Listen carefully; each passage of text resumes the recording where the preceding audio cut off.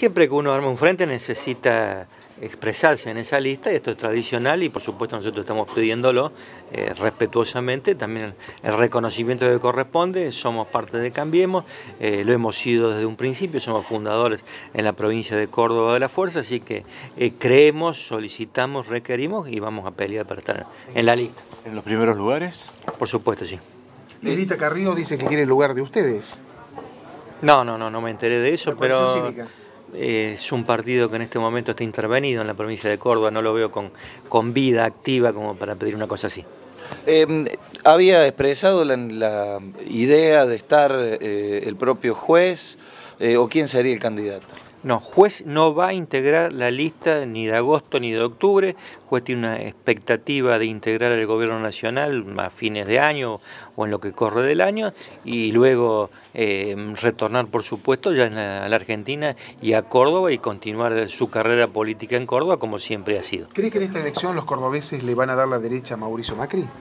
Sí, sí, no, no tengo dudas que eh, se va a ratificar un rumbo y fundamentalmente una idea de no volver atrás bajo ningún sentido. Por más dificultades que existan, por eh, difícil que sea la situación económica, un rumbo que sea trazado no debe ser desconocido. ¿Quién es el candidato que ustedes proponen?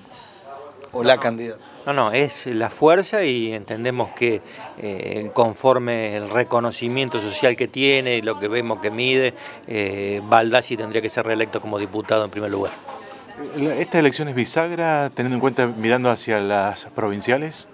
No, no, no, no, no, no, en absoluto, ¿no? una elección nacional donde a su vez tampoco es bisagra de nada, se han perdido más de una vez elecciones de, medio término, eh, en el 2009, en el 2013, otros gobiernos anteriores también, y, y, el gobierno ha continuado, en este caso no se va a perder, pero no significa eso. Y provincialmente la bisagra se viene dando por una generación que se está retirando y por gente joven que ingresa a la política, que ustedes lo ven.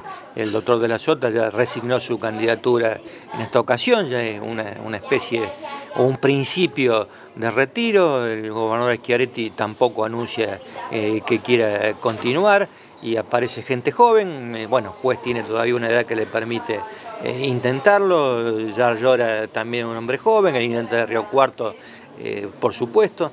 Hay una nueva generación, yo ahí veo la, bisagra de la política de Córdoba. Nueva, nueva, nueva gente que eh, no que se incorpore a la de la política, sino que le está tocando poder. Así juega va a ser candidato, va, a ser candidato en el 2019 y va a intentarlo nuevamente. 30 usted dice que tiene que encabezar la lista Baldassi. ¿Para usted tiene que ser alguien del PRO que, que encabece la lista y no un radical? No, es el hombre que eh, mayor reconocimiento tiene, un nivel de conocimiento amplísimo en toda la provincia, su tarea legislativa ha sido buena y garantiza entonces una buena elección.